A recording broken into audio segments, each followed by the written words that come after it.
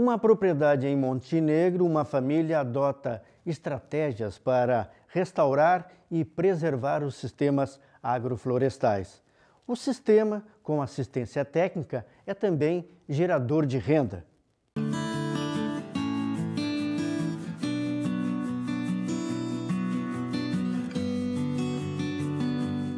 Estamos em Montenegro, uma das primeiras terras a serem exploradas pelos portugueses e espanhóis após o descobrimento do Brasil.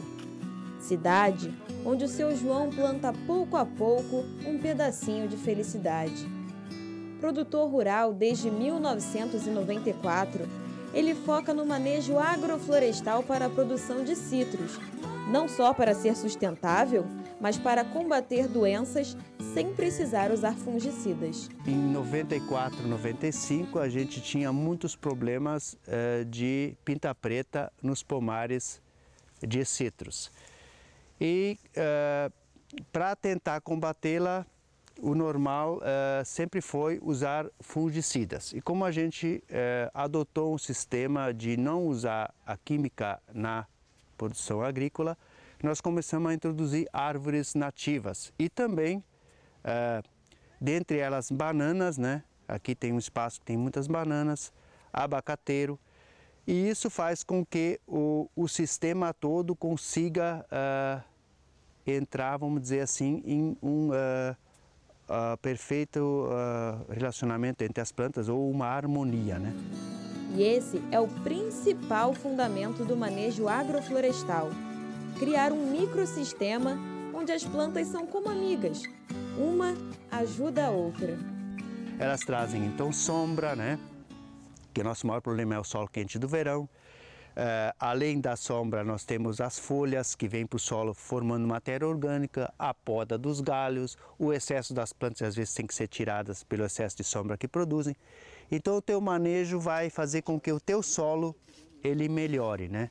E quando tem excesso de chuva, então as plantas conseguem absorver a água e, e, e ela penetra lá no solo, né, pela raiz. Então tu tem umidade dentro do solo. Então o que acontece é que o teu solo vai melhorando, a água não vai levar ali embora. E, uh, e as árvores elas fazem parte do nosso ecossistema. Então tu está uh, tendo né, a ajuda uh, do próprio, da própria natureza né, na tua agricultura ou na tua citricultura que tu está fazendo.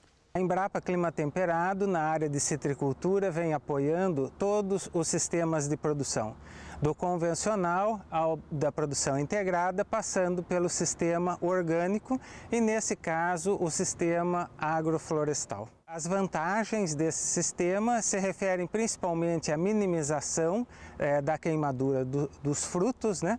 É, mais de uma alternativa de renda na mesma unidade de, diária. Né? Nesse tipo de manejo, o seu João diz que a melhor amiga dos citros é a banana, que agrega na produção e traz diversos benefícios. Citros com banana é o que funciona melhor aqui, até porque a banana ela consegue trazer umidade, ela traz assim muita matéria orgânica para o solo e também eh, ela tem essa, esse poder de segurar a água. Né? Então, quando é um dia muito quente, você consegue trabalhar muito bem nos citros que tem a ajuda das bananas. Uma curiosidade é, em relação a esse sistema que os citros provém é, em seus centros de origem na Ásia é, de regiões sombreadas, se adaptando muito bem então ao sistema agroflorestal. E a força de vontade não falta aqui na propriedade. Toda a família trabalha junta para dar conta de todas as variedades produzidas.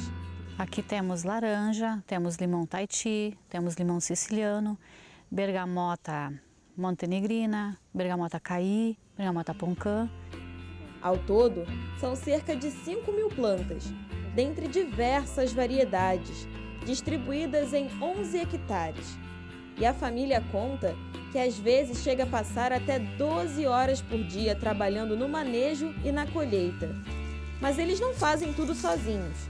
A cooperativa Ecocitros também faz a sua parte para ajudar os produtores de citros orgânicos. Hoje, todos os citros produzidos são transformados em suco na agroindústria da cooperativa. Hoje eles detêm toda a cadeia produtiva, desde a produção do insumo até a sua comercialização final depois. Eles não dependem mais de terceiros no meio do processo. Então isso empoderou esses agricultores de uma forma que eles conseguem ter uma, um gerenciamento da sua cooperativa de uma forma bastante interessante. O produtor de Montenegro que quiser fazer parte da cooperativa precisa, acima de tudo, ter intenção de ser orgânico. Depois, é só procurar a Ecocitrus. A gente está procurando novos associados também para ampliar essa produção. Então aí todos os trâmites legais são desenvolvidos ali pela cooperativa para que isso se efetive.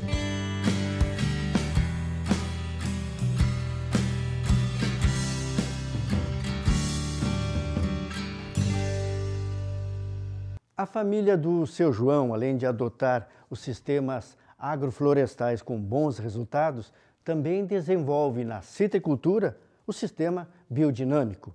Acompanhe a reportagem. Baseada nos fundamentos de Rudolf Steiner, um filósofo austríaco nascido lá em 1924, a agricultura biodinâmica veio se estabelecendo cada vez mais ao longo dos anos.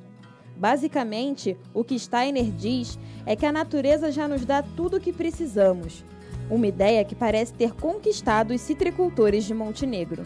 Então começamos com cinco pessoas, o seu Cláudio Laux, o Luiz Laux, eu aqui, o João Kranz, o Hildo Ketterman e o Inacinho Rohr. Eram cinco agricultores que começaram a aplicar essa biodinâmica. Os preparados nós conseguíamos de alguma forma, ou do João Folkman ou de outros. E também veio um, uma pessoa da Alemanha, o Christian Wisterhausen, que veio visitar nós duas vezes e falou muito sobre a questão da biodinâmica. E depois, com o andar do, do, do tempo aí, a gente foi é, começando a fazer e depois que começou a gente não conseguiu parar mais. O que diferencia a biodinâmica das outras vertentes da agricultura orgânica é a forma de preparo e de utilização de um composto orgânico usado como fertilizante, além do uso de preparados biodinâmicos para tratar o solo e as plantas. Existem preparados de todos os tipos, cada um com uma finalidade específica. Na biodinâmica, nós mesmos, agricultores, eh, elaboramos os nossos preparados, que são usados na propriedade. Então, como vocês estão vendo aqui, tem eh, bastante matéria orgânica. Então, a gente usa o Fladen, que é aplicado em gotas, em grandes gotas, claro que ele é dinamizado durante 20 minutos, para decompor essa matéria orgânica. Então ele, nós ajudamos a criar fungos que decompõem a matéria orgânica. E o outro preparado também que é muito usado, que é o 500, que é o chifre esterco, e a gente usa ele quando uh, fica muito tempo sem chover, quando tem muito calor, que a gente vê que a planta se estressa, começa a querer até ficar murcha, então a gente leva essa umidade para a planta, né? E também usamos o 501, que é para a parte aérea, que ajuda nessa questão dos fungos e também eh, melhora bastante o brix das frutas. Esses são os três eh, preparados básicos que a gente aplica né, eh, no solo e também na parte aérea, na nossa citricultura ou na agricultura biodinâmica. Está num ambiente limpo, um ambiente que tu não está usando nada de agrotóxico, tu pode chegar na, numa numa, um pé de fruta que tu pode comer, assim, tu não precisa te preocupar, tem que lavar, passar vinagre, porque tá, tá, tá tudo dentro, tá limpo, né? O ar puro, né? Então acho que essa é a maior vantagem, assim. Esse calendário aí que o seu João está mostrando é outro diferencial. Ele funciona como uma espécie de guia para o produtor, para saber qual é a melhor época de adubar, plantar, podar, colher assim como todas as outras atividades agrícolas. Esse, especificamente, é baseado no calendário lunar.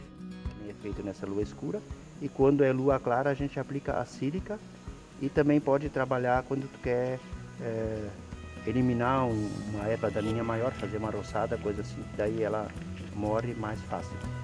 A biodinâmica ainda tem sua eficiência contestada pelos cientistas, mas por aqui parece estar tudo funcionando.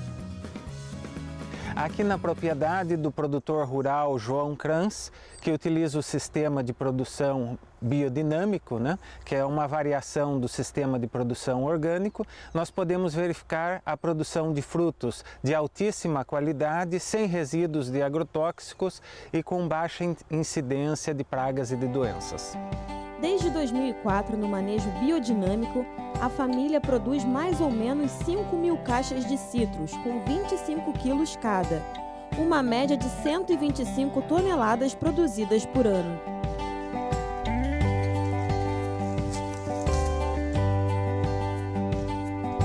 E o seu João não tem intenção de parar. Muito pelo contrário, ele já está até dividindo seu conhecimento internacionalmente. Em 2013 a gente participou da conferência que acontece sempre em fevereiro, né? A Conferência Mundial de Biodinâmica. E em 2016 a gente foi convidado para apresentar o nosso manejo de citros na, na, lá em Dorna, no evento que se chama uh, Produção de Frutas, né? Então a gente teve com essa honra de poder apresentar em 20 minutos o que, que a gente faz aqui em Montenegro, né? Nessa citricultura com manejo biodinâmico. Esse ano, o Encontro Latino-Americano de Agricultura Biodinâmica vai ser realizado em outubro, na cidade de Botucatu. E o recado do seu João é claro. Vamos fazer biodinâmica porque daí as pessoas vão conseguir a voltar a serem humildes e a serem mais humanas.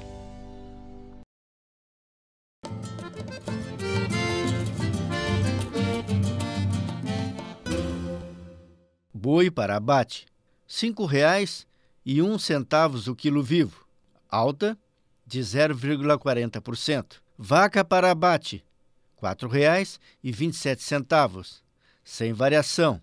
Cordeiro para abate, quilo vivo, R$ 6,21, sem variação. Suíno, R$ 3,10 o quilo vivo, também sem variação. Búfalo, R$ 4,19, alta de 1,21%.